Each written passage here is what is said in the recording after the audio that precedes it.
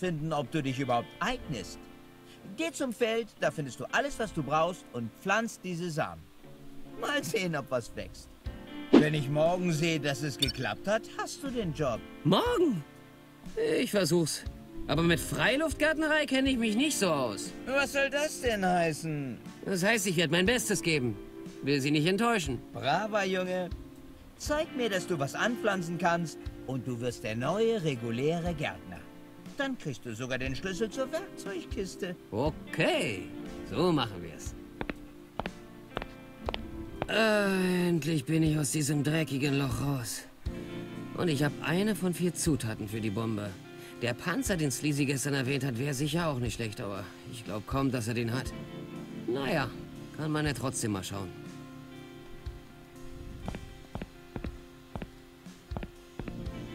Hey, was geht's, Sleazy? Sieh mal einer an. Wenn das nicht der Grünschnabel ist. Ich hörte, du hast deine erste Nacht im Loch verbracht. Hat's Spaß gemacht?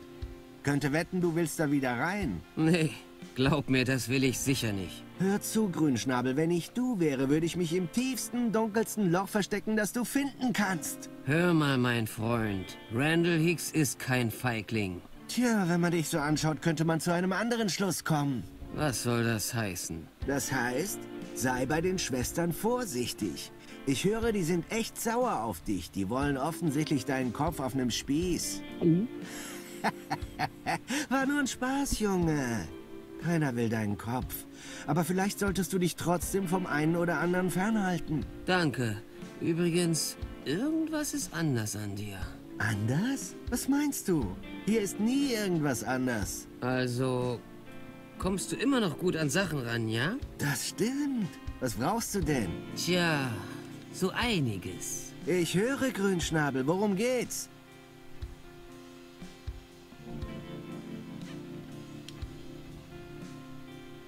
Hey, ich weiß, was los ist. Du rauchst wieder, oder? Wieder?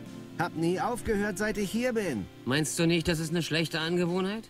Du solltest mal Nikotinkaugummi probieren, ist auch gesünder. Gute Idee, aber ich hab kein Nikotinkaugummi. Das Einzige, was ich nicht besorgen kann. Ist echt frustrierend. Ich hatte aufgehört, bis ich hierher kam, aber wegen dem ganzen Stress habe ich wieder angefangen. Tja, dann ist jetzt vielleicht der richtige Moment, um aufzuhören. Was mich wirklich ankotzt, ist, dass ich mich echt an den Kaugummi gewöhnt hatte. Hat mir sogar richtig gehend geschmeckt. Tja, dann ist ja heute dein Glückstag, mein Freund, weil ich dir nämlich vielleicht was besorgen kann. Ehrlich? Klar, du wolltest mir doch einen Panzer besorgen, oder? Dann sind wir quitt. Ein Panzer? Okay, aber das dauert bis morgen. Ist schon okay. Du kannst mir doch sicher was im Austausch anbieten. Ja, klar. Ich brauche Frittierfett, Streichhölzer und Dünger. Kein Problem. Kannst du morgen alles haben. Ah, dann vergiss es. Das Detail hatte ich vergessen. Hm, mir fällt gerade... Echt? Na dann lieber du als ich. Ja, klar.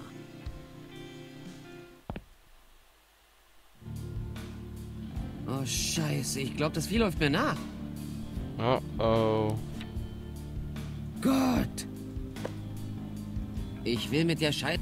Vergiss es. Ich streiche kein Tier, das mein Todesdatum kennt.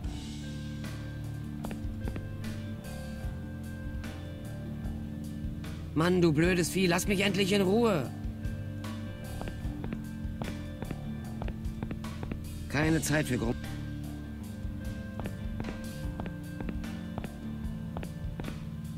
Was geht ab, Mann? Hey, was geht, Bruder? Wie läuft's mit dem Nikotinkaugummi? Hab dafür gesorgt, dass du ein paar Packungen auf die Zelle kriegst. Super. Danke übrigens. Ich weiß, Kaugummi ist nicht das gleiche wie Tabak, aber glaub mir, sobald es keine Kippen mehr gibt, werden wir beide wie die Könige in diesem Knast leben. Klar, wenn du sagst. Klar, Mann, wir müssen sie nur ein bisschen in der Luft hängen lassen. Vertrau mir. Okay, also... Weißt du, wo ich etwas Frittierfett herkriege? Tja, schätze, dass da wohl was in der Küche zu finden sein sollte. Obwohl, Obwohl... Bruno wird auch da sein. Und der Typ ist übel. Da bringst du dich echt in Schwierigkeiten. Ja, bin sicher, wir werden gute Freunde. Nee, ich meine das ernst, Bruder. Leg dich nicht mit Bruno an. Der hat absolut keinen Humor. Ich pass schon auf. Ich brauch das Zeug halt wirklich dringend. Und ich brauche dringend einen vernünftigen Anwalt. Und muss auch mit dem klarkommen, was ich hab. Ich sehe, du bist echt einer von der entspannten Sorte, hm? So bin ich nun mal drauf, Mann. Okay, man sieht sich, Carl. Klar, Mann.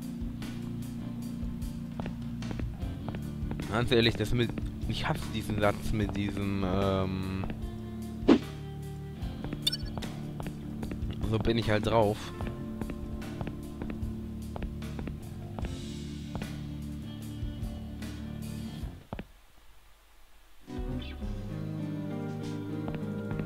Hey, Brooks. Wie geht's, Junge?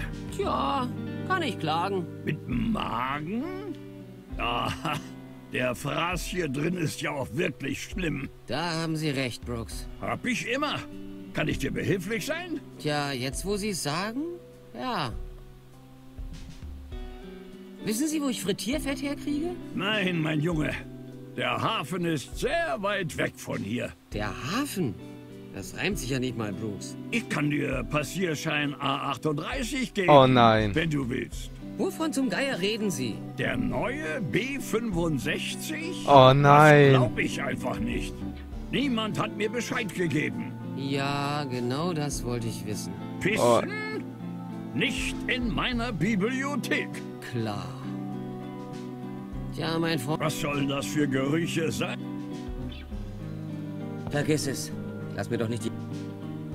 Oh Mann, das war eine richtig, richtig miese Anspielung. Wo der scheiß Kat. Vor allem einfach auf, auf Asterix und Obelix. Das war. Ich weiß gar nicht mehr, wer- welche, welcher Film Ich war will das mit der davon? scheiß. Ähm, und zwar, ich meine, äh, so Asterix und Obelix erobern Rom oder sowas. Irgendwie, irgendwie sowas war das, genau. Da waren die so im, Hau so, so im Haus, wo sie so Passierscheine brauchen. Das macht irgendwie alle Leute zu irren. Und dann so, ja, ach, 38 und sowas. Ja, dann so hoch und dann, na, der B65. Und davon hat mir ja noch niemand was gesagt. Und dann sind die Leute selber drauf reingefallen. Morgen, Bruno. Was gibt's zum Mittag? Ich hoffe, was Leckeres. Aber wer glaubst du, dass du bist, so einfach in meine Küche reinzuplatzen? Was soll das heißen? Ich war doch. Ich will deine abgrundhässliche Fresse nie wieder in meiner Küche sehen. Verstanden? Hey, entspann dich. Ich dachte nur, ich. Verpiss dich! Ich will das nicht nochmal sagen. Okay, okay. Scheiße. Und diese Katze, die macht mir Angst.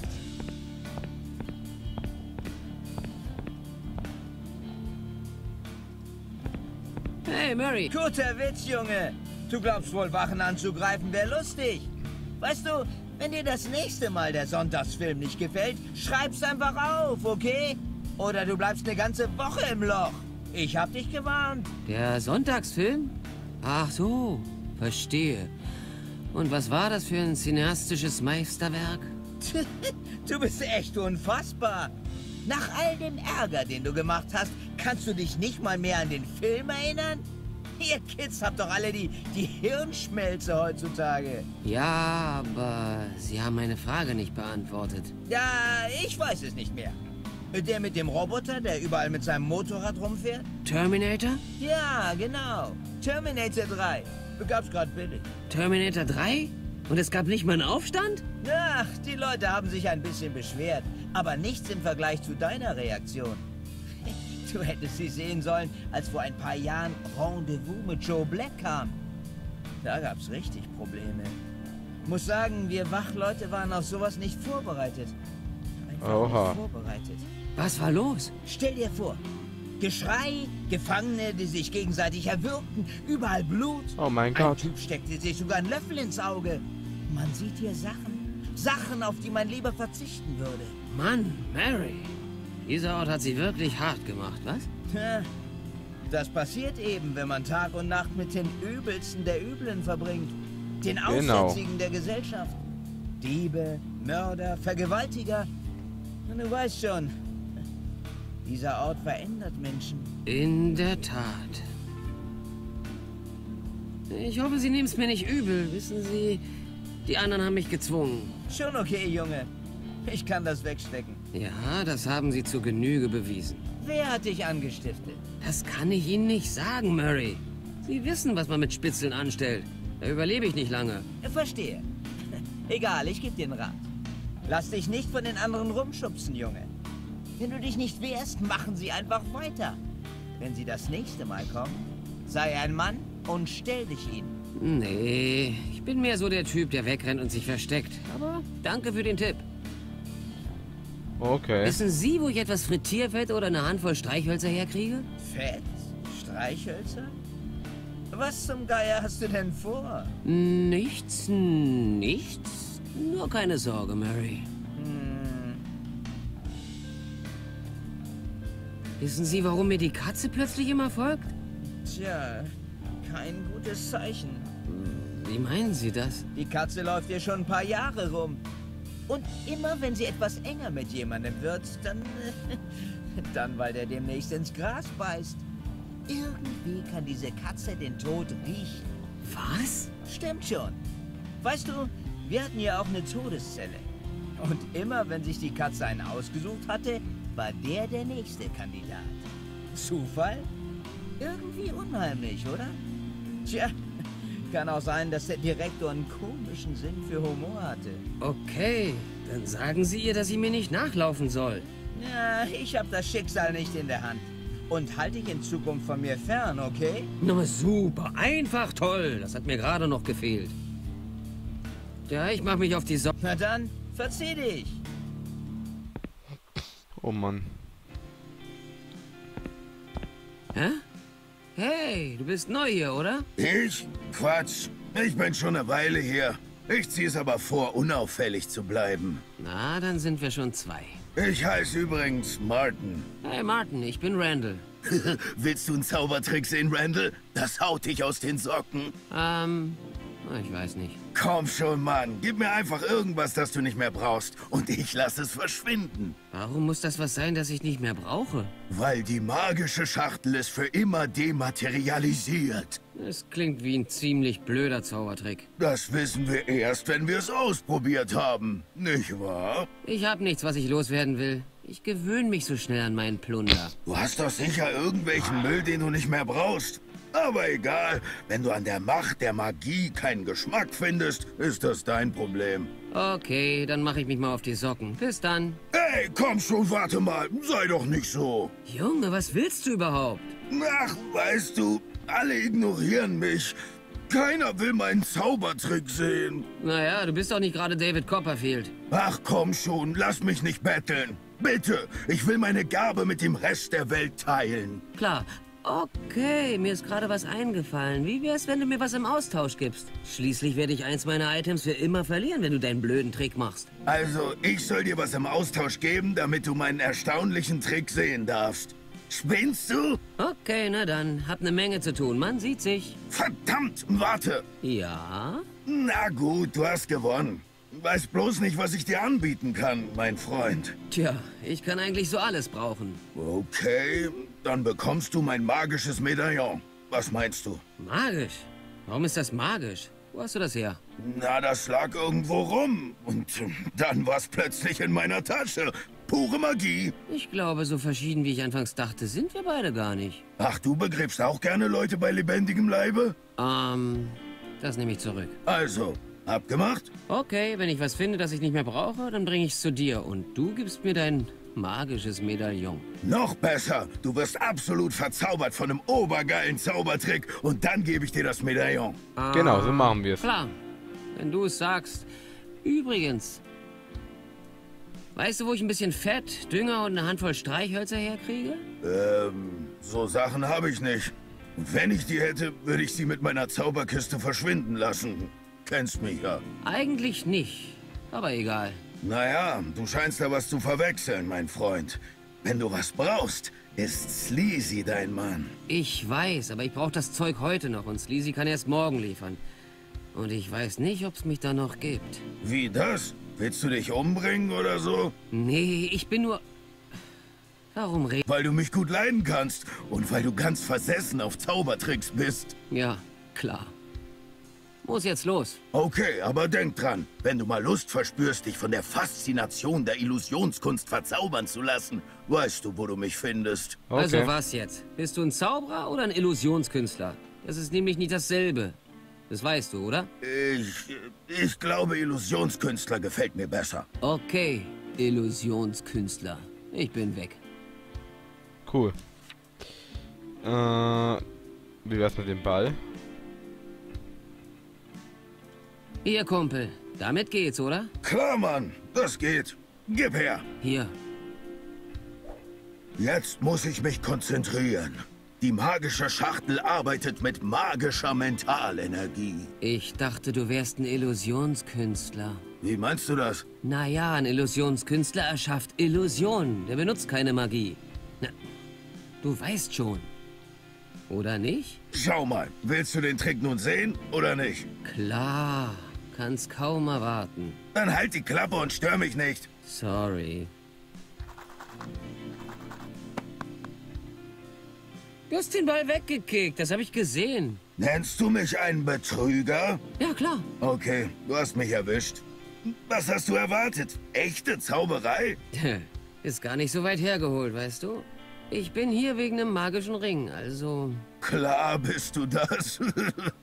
Monster. Hey, was hast du denn über mich gehört? Ich bin nur der Typ mit der magischen Schachtel. Das weiß ich schon. Egal, jetzt habe ich ja deinen blöden Zaubertrick gesehen. Dann kannst du mir jetzt auch das Medaillon geben. Abgemacht ist abgemacht. Bitte sehr. Perfekt. Okay.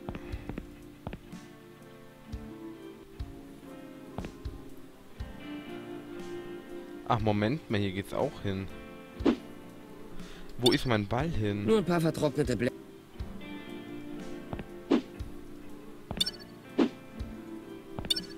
Da stecke ich meine... Da ist ein Vorhang. Ein paar Stücke Holz, die zusammengenagelt und in... Mach. Sack.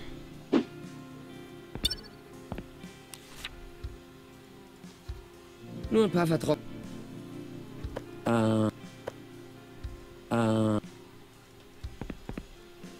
Okay. Schätze, hier soll man was... Dann pflanzen wir doch mal was. Wobei, nein. Ich habe eine Idee. Ich gebe erstmal Sleazy den Nikotinkaugummi. Die Katze soll aufhören mir zu folgen. Die läuft richtig scheiße. Hier ist der Nikotinkaugummi. Wie versprochen. Ha, spitze. Kann ich dir eine Zigarette und ein Streichholz im Austausch anbieten? Okay. Okay, hier, bitte. Eine Kippe und ein Streichholz. Danke. Hier ist ein Kaugummi. Vielleicht habe ich morgen noch mehr. Och nein. Hey, Was geht dich das an, Grünschnabel? Verpiss dich. ich mach mir nur Sorgen um deinen Ernährungshaushalt. Nerv jemand anderen. Was hat's? Was soll damit sein? Na, nichts. Bin bloß neugierig. Was ist denn das für ein Zeug, weil es nicht gerade wie ein Erdbeermilchshake aussieht? Das ist ein Säurebinder, Grünschnabel. Zufrieden? Jetzt schieb ab. Nee, ich meinte, was da drin ist. Schau doch mal auf dem Etikett nach. Nein, Okay, dann mache ich das. Kann ich mal? im Leben nicht. Komm schon, Mann. Das würde mir echt weiterhelfen. Hey, du bist nur so ein scheiß Grünschnabel. Was an Schieb ab war denn jetzt so schwer zu verstehen? Ich komme wieder. Hast du Event? Willst du mich verscheißern? Äh, nein. Was soll ich sagen? Nein, habe ich nicht. Also verpiss dich. Du nutzloser... Hüte deine Zunge, Grünschnabel. Sonst reiß ich sie dir aus. Meine Zunge? Und andere Sachen. Ich geh mal lieber. Ist wohl besser. Zieh Leine. Hm. Brunos, Moment mal. Brunos Essen mag ja übel sein, aber sicher besser als dieser... Hm. Ein magisches Medaillon? Eher ein Ventil an der Kette.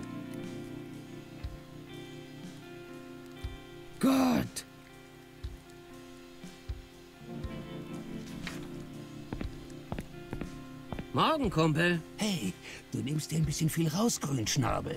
Glaubst wohl, du bist jetzt einer von den schweren Jungs, weil du mal eine Nacht im Loch verbracht hast? Mann, hab doch nur guten Morgen gesagt. Fick dich, Arschloch. Hast du unser Gespräch vergessen, kurz bevor sie mich ins Loch gesteckt haben? Na, ich glaube, daran würde ich mich erinnern. Okay, wollte nur sicher gehen. Weißt du, wo ich Frittierfett, ein bisschen Dünger und eine Handvoll Streichhölzer herkriege? Verpiss dich, bevor ich dir den Schädel mit meinem, äh, mit meinem... Wo zum Geier ist mein Brecheisen? Frag mich doch nicht. Oh, Scheiße. Ich muss mir neues Brecheisen besorgen. Ja, na dann viel Glück. Bist du immer noch da? Ich dachte, ich hätte mich klar ausgedrückt. Bin schon weg, bin schon weg.